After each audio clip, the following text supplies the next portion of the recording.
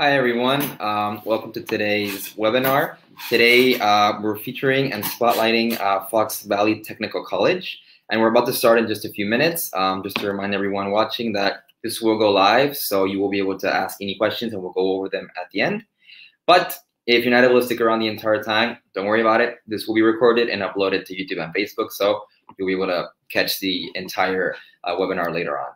Um, so without any further ado, please welcome Erika Cuevas from Fox Valley Technical College. Hey, Erika, how you doing? Hi, good. How are you, Alex? Good, good. With a bit of tooth pain, but other than that, we're great. So, how you been? Yeah, really, really good. I was um, just saying earlier that it's starting to become spring here, and so we're getting really excited to kind of start going outside a little bit more and doing some some different activities now that winter's hopefully on the its way out. So we might be able to talk about those activities in just a few minutes. So to start, Fox Valley Technical College. Now, one question that I personally wanted to ask, what does it actually mean to be a technical college? Yeah, so so technical college really means that we focus primarily on um, an education model mm-hmm. that um, is more hands-on. So our programs are going to all have more of like a hands-on or a technical feel um, when it comes to to the coursework. Um, it also means that we operate like a community college. So most of our programs are going to be about two years in in length. Um, but really that that technical piece is that that hands-on and it, it speaks to the the type of classes you take with us so so it's basically kind of a community college but the courses themselves would be a bit of a difference um, between one and the other right right so like um, at a technical college you're not going to find like history majors or philosophy majors they're really going to be focused more on those those more hands-on programs. So think like engineering, nursing, culinary, um, those those types of degrees. Okay. Oh, that's good to know. Um, I know you guys are located in Wisconsin, and you were mentioning uh, before about a few activities that you you will probably be doing in the on the weekend. But just wanted to ask, what's the environment like? So, what's it like for a student to get there? What are some of the things that they can do over the weekend themselves? Yeah, yeah. So um, our campus is located, our primary campus is located in the city of Appleton. Um, and so it's part of what we call the Fox Cities, which is why we're Fox Valley uh, Technical College. And so we're right off of one of the main um, lakes in the state, and the Fox River runs through the city. And so there are a lot of like biking and hiking trails. So if students like kind of nature and the outdoors, they definitely have access to those things in the city. Um, but really, we're like two minutes from the mall um, and also about 10 minutes from the airport. So if you're thinking about like how do you get to, to kind of the middle of the United States, um, there is an airport right in the city um, and it's not far from the campus. So it's pretty convenient to kind of get around. Um, and then our downtown area is really vibrant. So there's a lot of concerts that happen um, throughout the year that a lot of them are free. Um, so so students can take public transportation and really get to those those kinds of events um, so, in the area. Okay, so there's really a lot of stuff students can do, not just the outdoors nature part, but also the regular go to the mall, go to a cafe, to a restaurant, to whatever. Yeah, absolutely. There's tons of shopping. So we have like our main mall, but then we also have in the downtown area, there's lots of like uh, locally owned businesses that are kind of fun to see because you can kind of see what it's really like to to live in the Midwestern Wisconsin. If you're looking for different kinds of trinkets and things like that, you can really have a cool experience. Mm-hmm. But it's it's cold part of the year, not all of it. So it's more of a four four seasons kind of a place, right?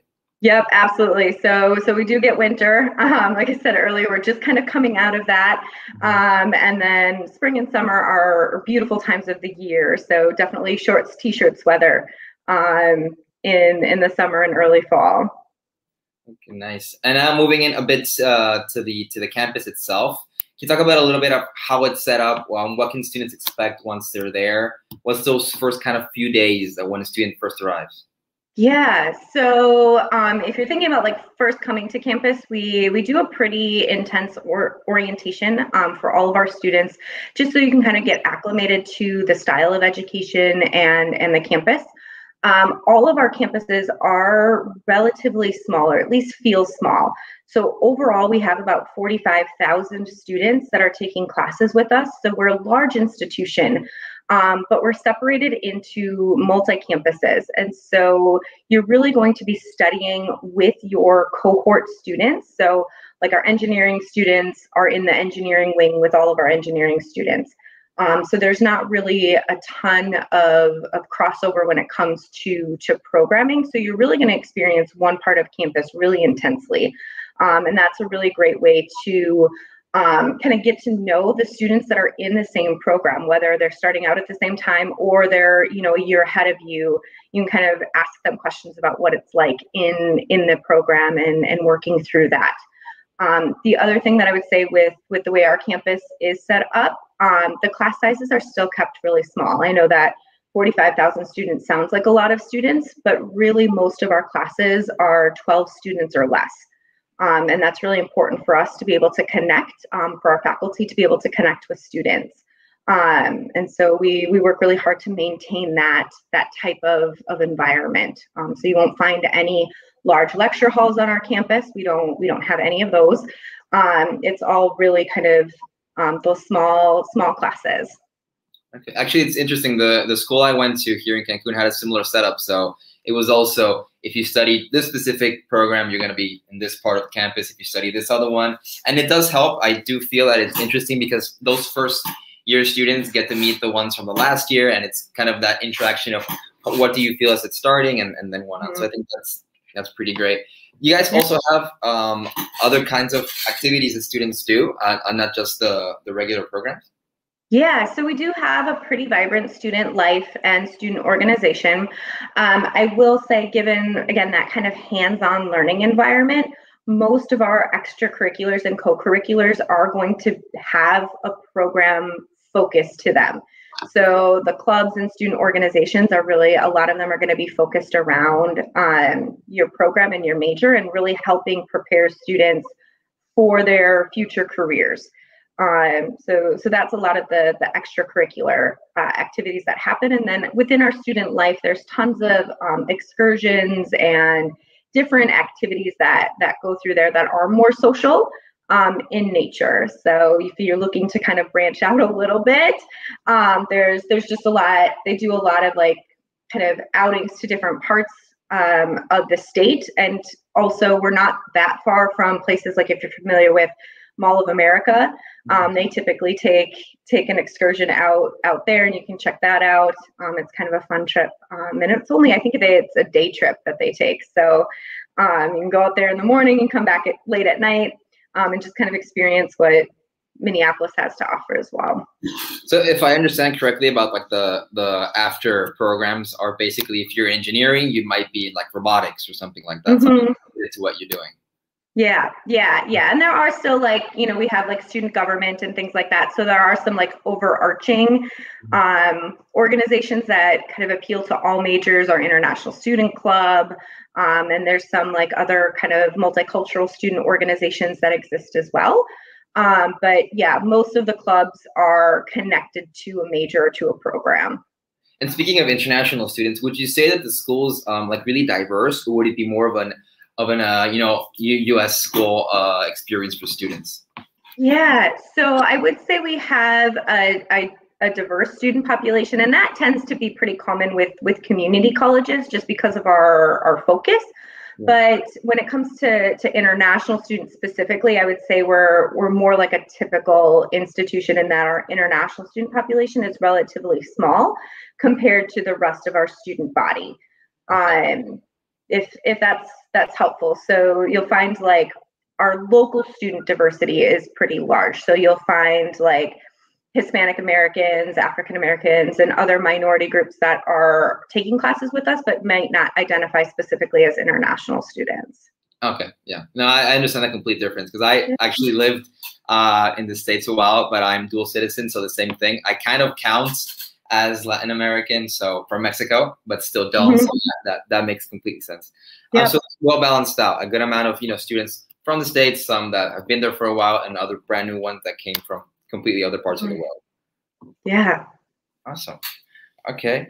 Um, and moving on a bit of on the academic part, I know you mentioned that. So in general, the difference would be that the programs are more hands-on. But can you elaborate a bit more on how that is? For like someone watching right now might want to understand the difference between community, again, as I mentioned at the beginning, and uh, the technical part. But a bit um, after the the general part of yes, it's more hands-on. What does that exactly mean? Are they more practical stuff? Do they have better opportunities when it comes to work-related? um, inquiries later on, or how would that be?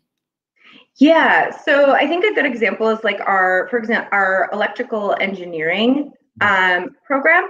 It's really a lab-based program where students are not really in a classroom environment. They're in a lab almost the entire program with the exception of a few classes and they essentially have an instructor in that lab and they're working through a workbook and have to demonstrate that they're able to to show or complete projects. So it's a more of a project based where you're not so you're not necessarily sitting in a classroom kind of learning the theories and that happens, but the focus is really on those project outputs. So you're going to have to be able to to actually show that you understand this by creating something. Um, our um, we have a program within our transportation department where students actually have to build an engine and that's part of the class. So so they're building out this engine and the the final is is does it work right? Can you actually use this engine right? Um, and so that's where that that practical piece um, um, comes in into play. So it's actually doing the work itself. Mm-hmm. yeah. Yeah. And it does make a big difference. So with our you know internship placements and all of that every single one of our programs either requires it or highly encourages an internship placement. And I think that's another thing that's that's different um, with maybe your standard or typical community college or four-year institution where not all programs have an internship component. Pretty every single one of our um, placements or programs has has an internship um, piece that we we really hope students take advantage of. Okay, that's great. Yeah, I do have a similar idea. I asked that because specifically here in Mexico, for example, it's not that common to hear about, but there are those options. So just to make sure people watching would understand completely. Um, mm-hmm. So just a curious question: What would be some of your most popular programs? Yeah, so our most popular programs are really, you know, business management is always popular with with students, but um, electrical engineering um, and also our um, nursing programs are really popular with international students. Um, and then I would say we have a lot of programs that do reach capacity. Um, so if students are interested in, um, for example, aircraft electronics is a really popular program. Anything with aviation is really popular. Um, but right now we're enrolling students um, for fall 2022.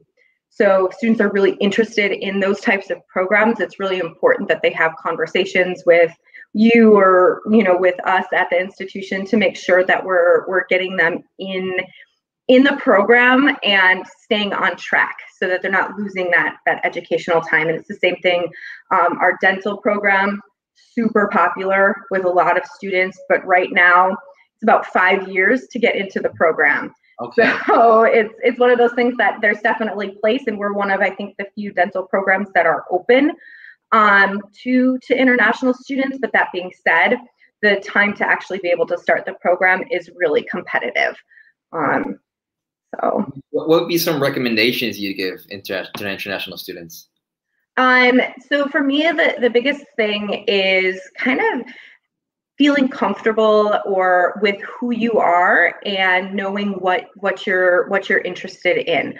Um, in a program like ours, um, because we don't really have a lot of those general education requirements, um, I find that it's really important that international students ha- have a deep interest in in what they're studying, and they're not necessarily picking a program because they think that it's going to be a lucrative career or because so and so told me I should study in this. If you're not really passionate about what you're learning, you're going to have a really hard time in your classes um, because of that, those hands-on lab environments and not having kind of those general education, um, it's going to make the class and coursework much harder for you. Um, so that would be my biggest recommendation: is make sure you you're interested in in what you want to study.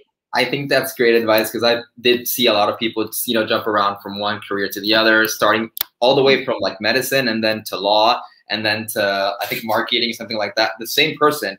So mm-hmm. you know, it's it's okay to change your mind, but again, I think that what you're saying makes total sense to really, you know, take into consideration what you like, what you're good at, you know, practice, mm-hmm. ask.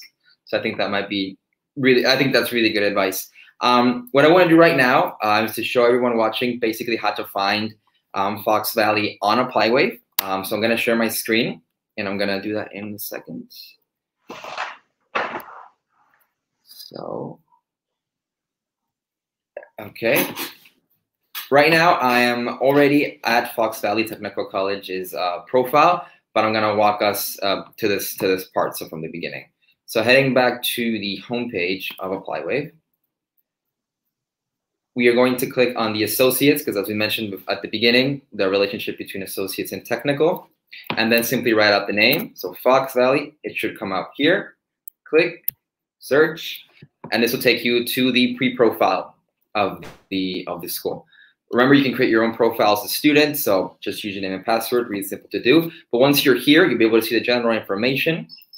Then you can click read more, and this will take us again to the profile of the school as we were at the beginning and it'll show us a general description. Pretty much everything you'll see here, we just talked about, um, except for the entire list of uh, programs that are actually at the school, and a good view of the ge geographic location, uh, gallery with pictures and videos. So here we can see a bit of the examples of what um, Eric was mentioning about hands-on completely um, and in labs for the school, and a few videos also talking about the school and what it's all about. So coming back to you, Erica. Erica, thank you so much for being with us today and giving us, you know, all this information about your school. Um, I know we already mentioned recommendations, but any final things you'd like to mention to any possible international student watching that might be thinking about attending to Fox Valley? Yeah, I mean, I guess the big thing for me is to don't be afraid to ask questions you know there's a lot of people that are here to to support your educational journey and really take advantage of that um, it's really important for you to try to collect and gather as as much information as you can because going on to college or university um, is a huge investment for you and and your family and it's an investment for your life. Um, and so asking some of these upfront questions now um, can really save you a lot of time and money and energy down the road. Um, so, and if you don't know what to ask, there's a lot of people that can help you kind of even with the basics of what some things you should consider as you're going through your your college search. So, I would just recommend have conversations. It's so important. Okay, well, now everyone watching, you know, you know, you guys know who you talk to if you start applying to Fox Valley. Um, again, Erica, thank you for your time today, and you know, for just the information about your score. And to everyone watching, thank you, and we'll see you again next time. Bye. Awesome. Thanks. Bye.